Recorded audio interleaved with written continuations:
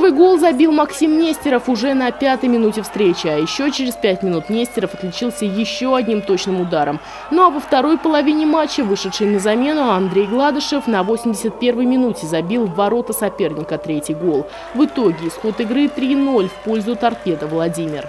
То, что мы просили, то, что мы хотели э, от ребят, э, чтобы с первых минут это было